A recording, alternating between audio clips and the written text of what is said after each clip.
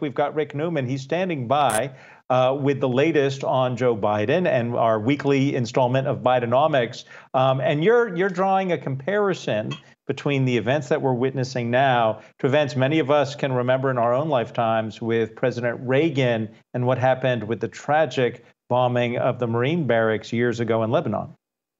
Yeah, and that's not the conventional wisdom, Adam. I think uh, many commentators are making the obvious connection with the fall of South Vietnam and Saigon in 1975.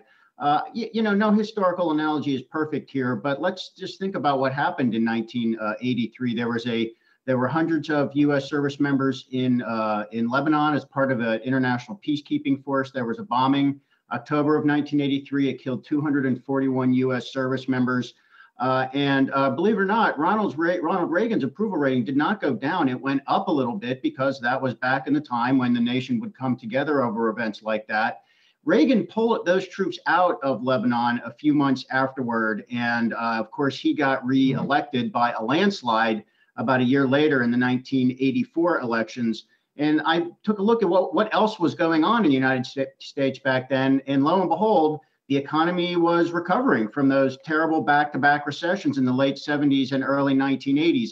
Employment wasn't, uh, unemployment was improving, uh, inflation was coming down, interest rates were coming down, uh, corporate profits were going up, and stocks were doing well. So I think that tells you that presidents can overcome foreign policy disasters if things are going pretty well at home. And that's the challenge I think Joe Biden, President Biden now faces going into the 22 midterms and the 2024 presidential election.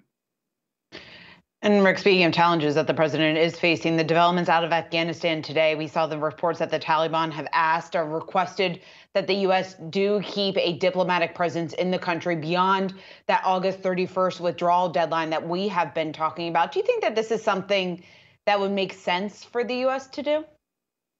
Well, we seem to have a new and improved Taliban, or at least that's the uh, that's the marketing claim. Just to remind people, the Taliban was a pariah government when it uh, when it uh, ruled Afghanistan from 1996 to 2001. Uh, I mean, it was just a barbaric form of government. We remember stonings, for example, public stonings in the soccer stadium. It was just ghastly.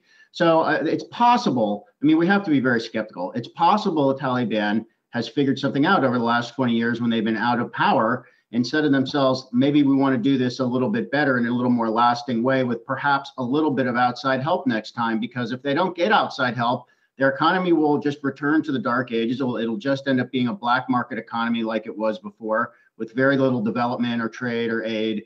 And uh, they probably realize that maybe they have a better chance of running the country with uh, the support of some of the people, at least, if they can keep the economy running. So it, it's plausible that this is a sincere request, but uh, I think before the United States agrees to anything, we just have to get to the end of this um, withdrawal, hope there are no more terrorist incidents, and then kind of recalculate.